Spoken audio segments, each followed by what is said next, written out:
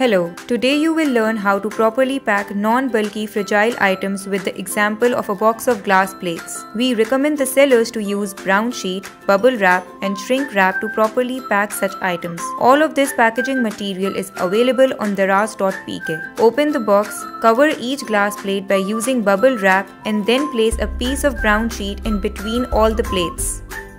Seal the box of glass plates from all the corners with the scotch tape Place the invoice and returns form on the top of it and then use brown sheet to wrap the box completely.